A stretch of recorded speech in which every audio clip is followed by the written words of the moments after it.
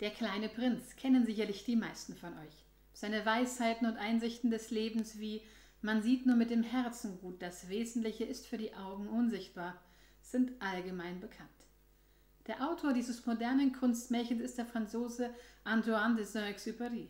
Heute fiel mir von ihm ein Text in die Hände, der mir gut gefällt, der mich zum Nachdenken bringt und der, wie ich finde, auch gut in die momentane Zeit passt.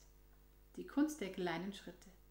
Ich bitte dich nicht um Wunder und Visionen, Herr, sondern um die Kraft für den Alltag. Lehre mich die Kunst der kleinen Schritte. Mach mich findig und erfinderisch, um im täglichen vielerlei und allerlei rechtzeitig meine Erkenntnisse und Erfahrungen zu notieren, von denen ich betroffen bin. Mache mich griffsicher in der richtigen Zeiteinteilung. Schenke mir das Fingerspitzengefühl, um herauszufinden, was erstrangig und was zweitrangig ist.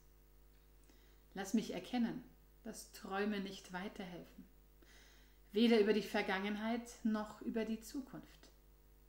Hilf mir, das Nächste so gut wie möglich zu tun und die jetzige Stunde als die wichtigste zu erkennen. Bewahre mich vor dem naiven Glauben, es müsste im Leben alles glatt gehen. Schenke mir die nüchterne Erkenntnis, dass Schwierigkeiten, Niederlagen, Misserfolge, Rückschläge eine selbstverständliche Zugabe zum Leben sind, durch die wir wachsen und reifen. Erinnere mich daran, dass das Herz oft gegen den Verstand streikt. Schick mir im rechten Augenblick jemand, der den Mut hat, mir die Wahrheit in Liebe zu sagen. Du weißt, wie sehr wir der Freundschaft bedürfen. Gib, dass ich diesem schönsten, schwierigsten, riskantesten und zartesten Geschenk des Lebens gewachsen bin. Verleihe mir die nötige Fantasie, im rechten Augenblick ein Päckchen Güte mit oder ohne Worte an der richtigen Stelle abzugeben.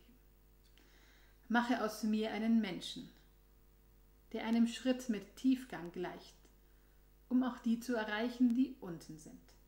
Bewahre mich vor der Angst, ich könnte das Leben versäumen. Gib mir nicht, was ich mir wünsche, sondern was ich brauche. Lehre mich die Kunst der kleinen Schritte. Bleibt gesund und von Gott behütet, eure Pfarrerin Veronika Mafredis.